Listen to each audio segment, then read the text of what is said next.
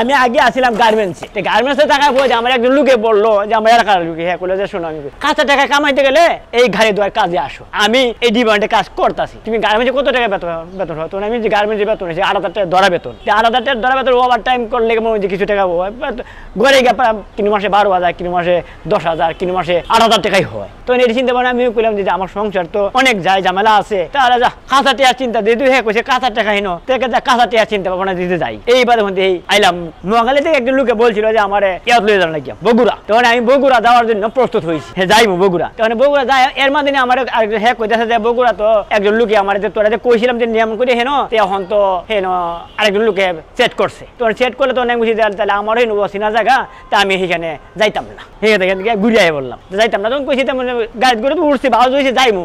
মানে মত ঘুরে এলাইছি না গেলাম না। না গিয়া আমি আবার গাপ তুলে আইছি। একটা গাড়ি মাঝে পনেরো থেকে বিশ মিনিট পর্যন্ত সময় লাগে, গাড়ি দইতে গিয়া। পানি আমি মারি, তোমার পানি দেবা কিছু কম লাগে যাবে এই এই পজিশনে করি, কাজটা করি আর কি। একটা গাড়ি একজনে ডলিয়া যায়, আমি পানি পানি মারিয়া যেতে চাই মারিয়া যায় এই দশ বারো মিনিটের ভিতরে আমরা কাজটা সারানোর চেষ্টা করি। আমরা এক লগে কাজ করি তিনজনে। সবাই মিলিয়া কাজ করি মানে আমরা চিপটি বাঘ আছে। প্রথম আমরা তিনজনে করি, এরপরে যা বাকি তিনজনকে আমরা মুঠ সর্বমোট আমরা সাতজন মানুষ আছি। সাতটা থেকে মনে হয় আমরা বারোটা পর্যন্ত কাজ করি। এইভাবে মনে করি যে গাড়ি তো দোয়ার কিন্তু একটা হিসাব নাই।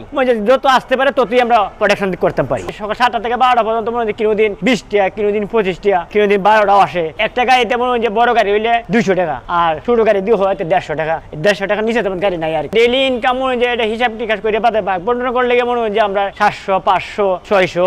মাসের হিসাবে এটা তো কিন্তু হিসাব নাই গিয়া। কিনো মাসে পনেরো হাজার টাকা আসে, কিনো মাসে বারো হাজার টাকা আসে, কিনো মাসে এই বেশিও আসে। এটা তো লিমিট নাই। হ্যাঁ এইরকম হয়। এটা মাঝে মধ্যে হয়তো চিপা থাকে তেমন গাড়ি দই থেকে একটু ময়লা থাকে। ময়লা থাকলে স্টাফরা বকাবাজি করতে চা করে। করলে আমরা তো কই ভাই তোমার গাড়িটা এইভাবে রাখে চিপাত্রা পড়ছে। ওখানে আমরা গাড়িটা দইতে যতটুকু চেষ্টা করছি দইয়ার লাগে ভালো লাগে ওখানে ওইরকম হয়েছে এটা কিন্তু আপনি গালাগালি করলে কিন্তু কাম হইবো?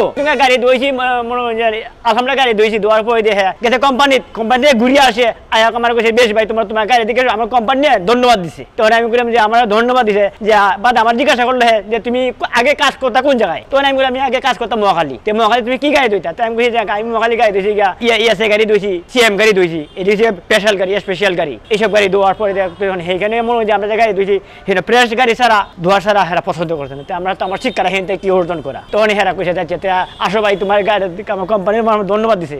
এটা আমার জানাবে লাগে তোমার কইছে। তে আসো অনকি বই দুইটা চা খাই আমরা নেমেছি বা আমরা দুইজন মিলে চা খাইলাম। এরকম কি কখন হয়েছে? তোমার শরীর খারাপ তোমার কাজ করতে ইচ্ছা হইতেছে না। না এরকম হয়েছে যে মনে হয় আজকেই হইতেছে। আজকে মনে যে আমার শরীরে জোর। একজন তাকে তো তাকি একজন মনে যে কাজটা করে কমপ্লিট শেষ করতে পারতাছে না। তখন আমি সেই সাথে কিছু সাহেব দিতেছি, আমি একটু হালকা পানি মারি দিলাম হের উপকার হইল। এইভাবে আছে আর কি।